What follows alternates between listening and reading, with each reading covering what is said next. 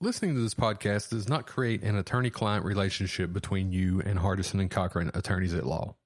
Hardison and Cochran does not accept new clients without first obtaining a signed agreement.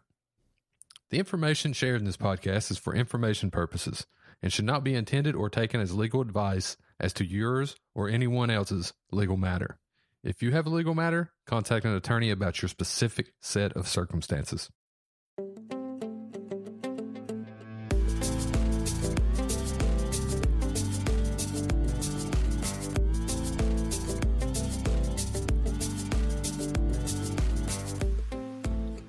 Hello and welcome to the Hardison and Cochran Attorneys at Law podcast. I'm your host, Bill Campbell. Today on the podcast, we'll be talking to Ben Cochran. Ben is the managing partner of Hardison and Cochran. Our topic today is North Carolina workers' compensation law basics. If you've recently been injured at work and want to protect yourself legally, this podcast will provide some answers to some basic questions you may have about your situation. Let's bring in Ben now. Ben, if you could, uh, please introduce yourself to the listeners and uh, give them a little background on your career as an attorney. My name's Ben Cochran. I have been practicing workers' compensation law for approximately 15 years now. I have been board certified in workers' compensation law after the practice of five years, uh, which is a requirement in order to obtain a board certification. Board certification means that I am licensed by the North Carolina State Bar to say that I am an expert in workers' compensation law essentially meaning that my primary focus or primary practice in the legal profession is workers' compensation. Okay, let's get right into it. First question, Ben. If someone is injured at work, what are some of the things they need to be doing to protect themselves legally? The first thing you want to do when you're injured on the job is you want to notify your employer. A lot of different employers have procedures or policies in how they want this done. Most of the time, there is some t- type of accident report or form that's utilized by an employer so that they can keep an accurate record of what happened. You want to make sure to be as detailed as possible when you're executing these forms. Make sure that they are done the same day that the accident happens. Once you've reported it to your employer, it becomes time for you to seek medical treatment. You ask the employer where to go for medical treatment.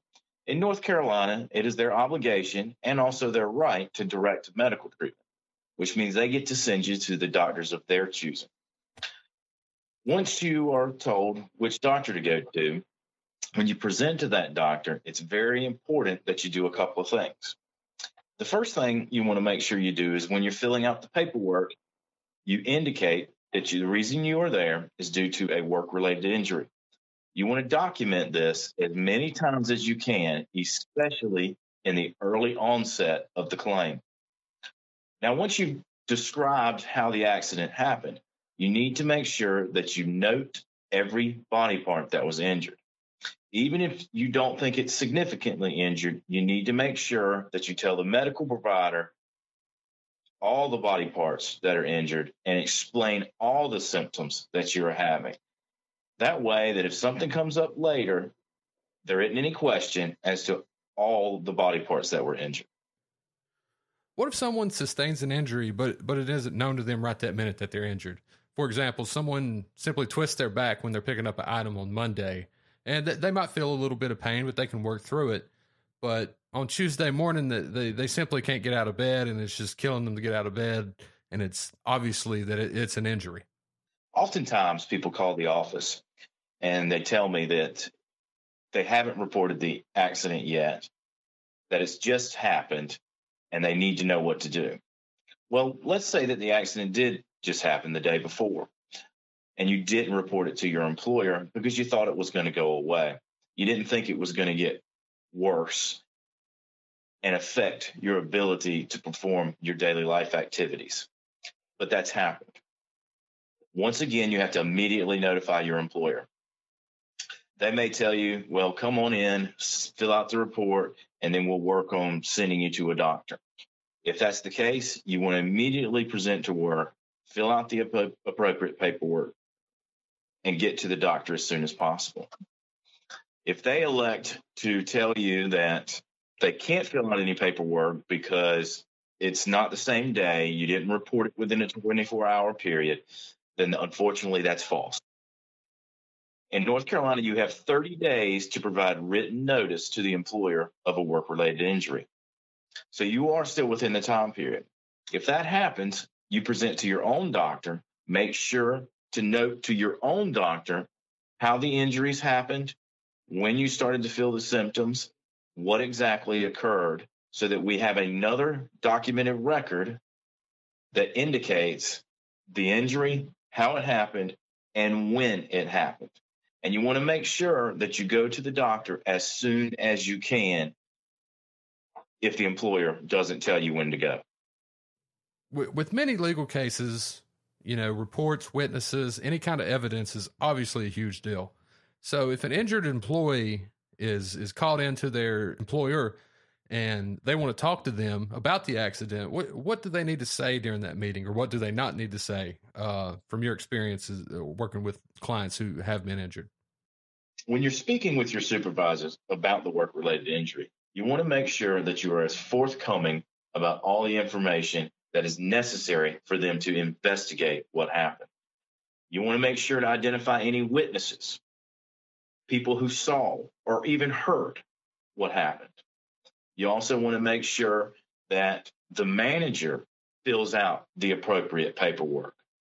There are many times where folks call my office and they say, I told the supervisor, but he didn't write it down. Make sure he writes it down.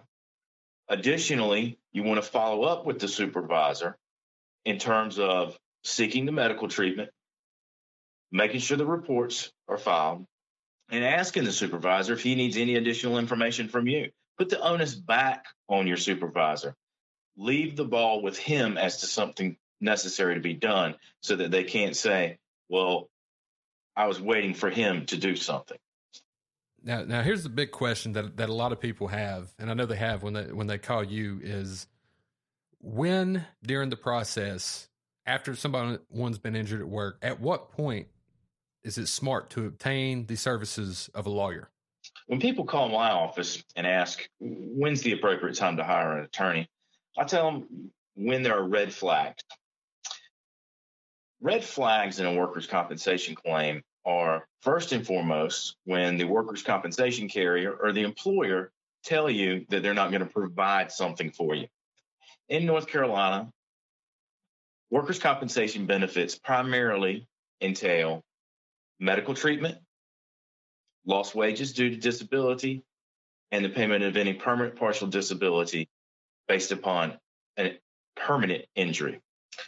So at any point in time that an insurance company or an employer tells the injured worker, we're not going to authorize medical treatment, we're not going to provide lost wage benefits, or we don't think you're entitled to a settlement, those are three different reasons where the insurance company has thrown up red flags.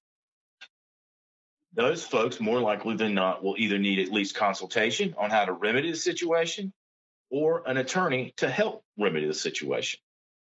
That is one of the areas of red flags. The other important red flag that I tell folks about is when they're not physically capable of going back to doing their job.